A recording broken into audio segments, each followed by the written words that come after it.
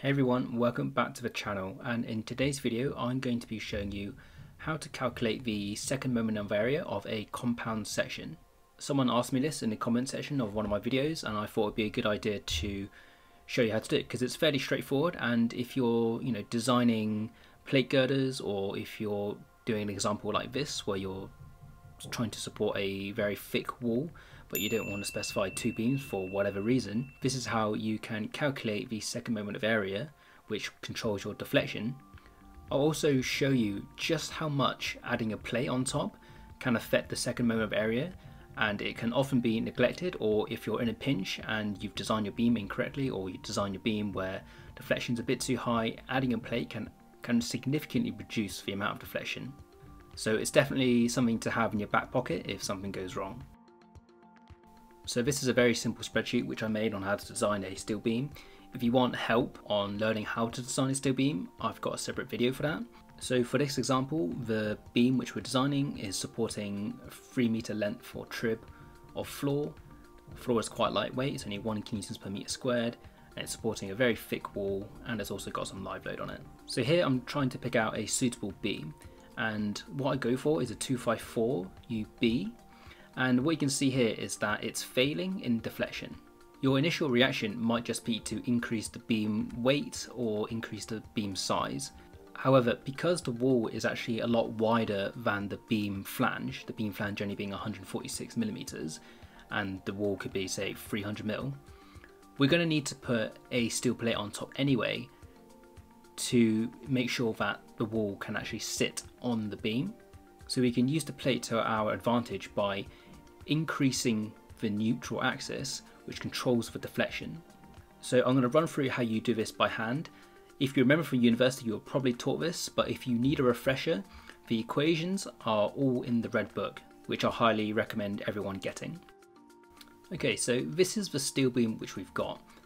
The dimensions for the flanges, the web, they're all from the blue book. So what I'm going to do is to add a 275mm wide plate and it's going to be 10 mil thick.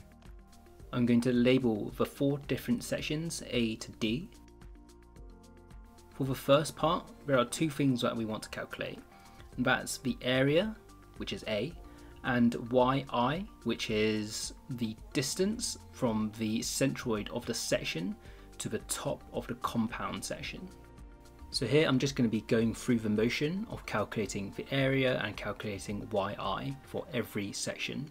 So the distance from the center of the section to the top of the compound section is the thickness of the plate over 2, so 5 millimeters.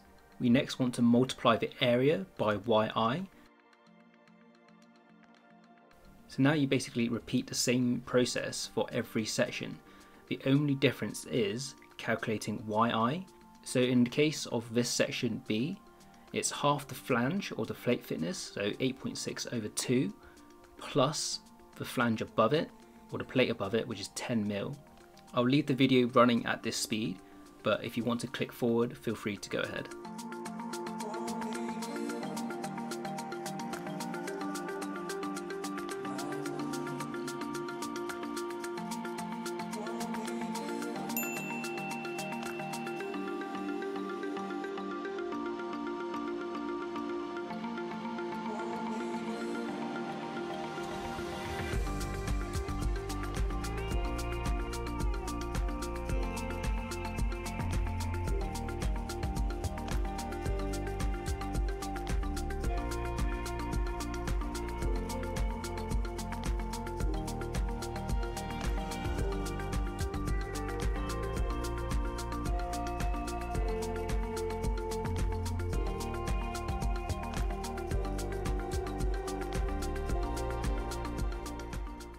Okay, so now that you've calculated each individual section, now you can sum all the areas and you can sum all the A times YI values.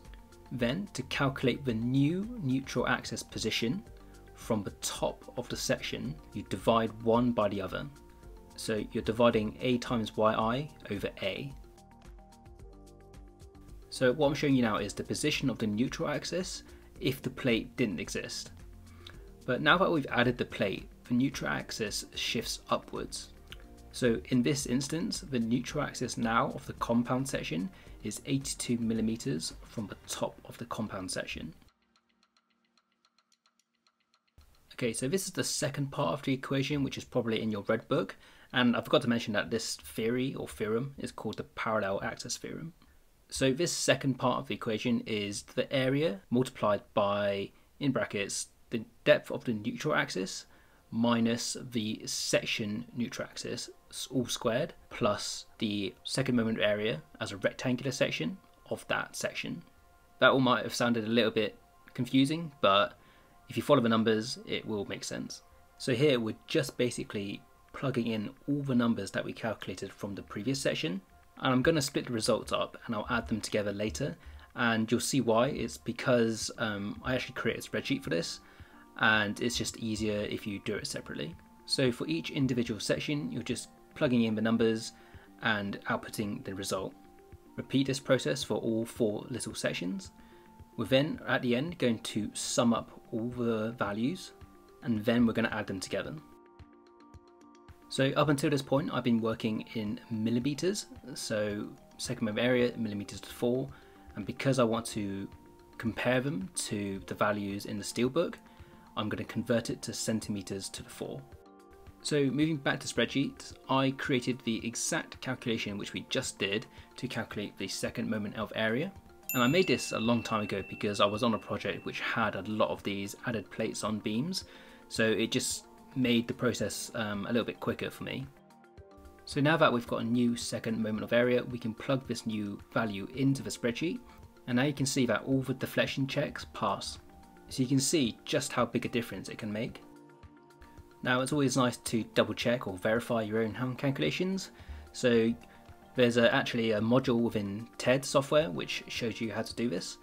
Um, so you, I just plugged in the values or plugged in the section size, plugged in the width of my plate, and as you can see, the second moment of area of the compound section is exactly the same as what I had calculated. Hopefully you found this video useful. If you have, please remember to like and subscribe, and I'll catch you on the next video.